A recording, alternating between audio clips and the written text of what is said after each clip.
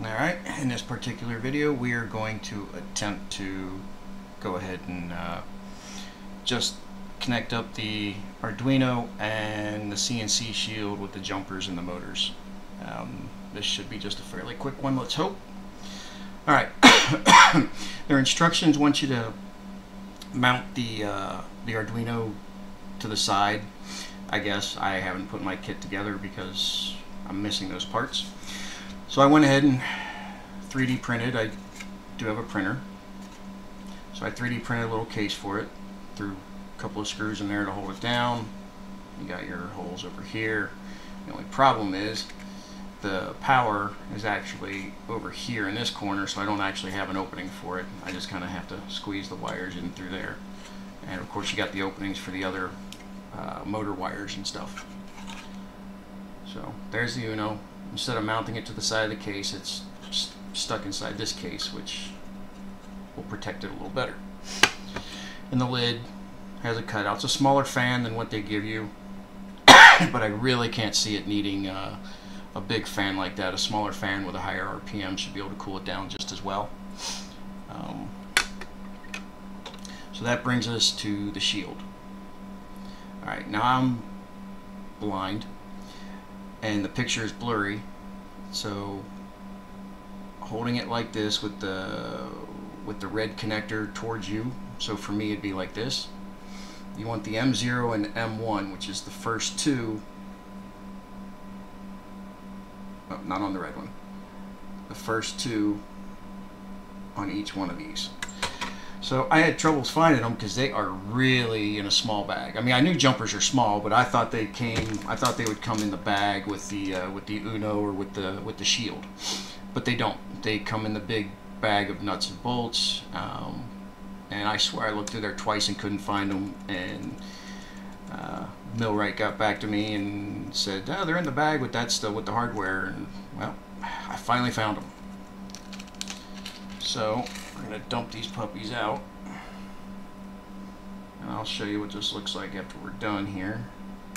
So that's M0, M1. So it's on the first two. And you do that for the top and top two in yellow. and according to the instructions that's going to set the it's going to set it to allow you to jog it down to like an eighth step or something like that when you adjust it. Now what I'm not going to do is show you how to adjust it today. I'll do that on a separate video once I actually figure out what I'm doing with it. Should should be simple. I've watched enough videos and whatnot. So anyway this is what it I believe it should be looking like so you see the jumper on the first two, the M0 and the M1s.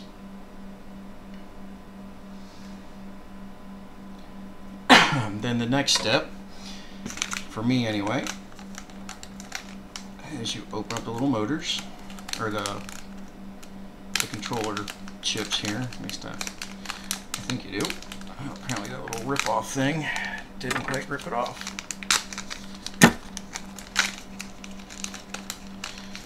Now, according to the instructions, the chip faces the chip faces down towards your body and then plugs in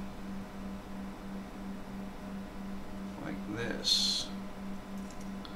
I'll show you in a second as soon as I stick this thing in there trying to line it up with these little holes without bending or breaking something.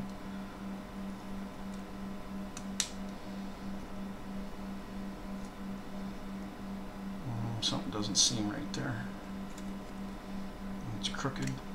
Doesn't want to go in that one.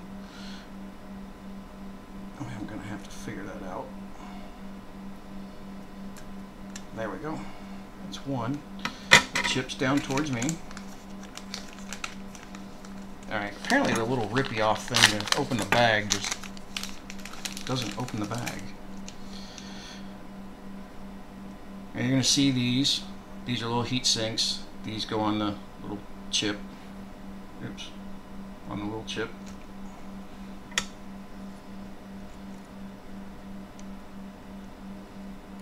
Let's try this one again. There we go. Now obviously you can tell I have no power connected to this thing. I mean the board's free in my hand. I don't even have the power connector on it. Never play with your electronics while they're plugged in. Even when you're working on your computer, flip the either pull the cord or flip the little switch on the power supply itself to remove power from the board. Even press the power button to make sure you power drain any capacitors left. Alright, let's see, it's, this one seems to be spread just a little too far. There we go. Alright, so according to the directions, this is exactly how it should look. So the red part is facing your body and the chips are facing your body and the little adjusters, the little pots are facing away from you.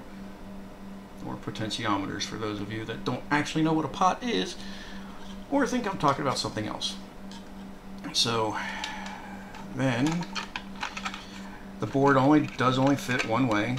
You just line up the holes, which of course in the case it's a little hard to see for me to line them up at first to make sure I'm getting everything in there. But you'll feel it just kind of press right down and there you have it.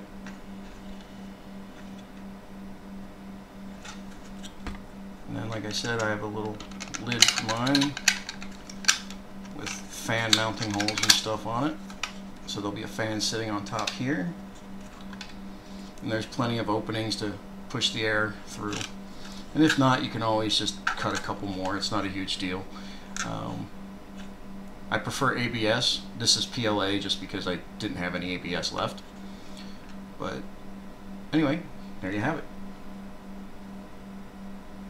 Uh, next video, well, maybe not the next one, but one of them, we will go through the adjusting process of it.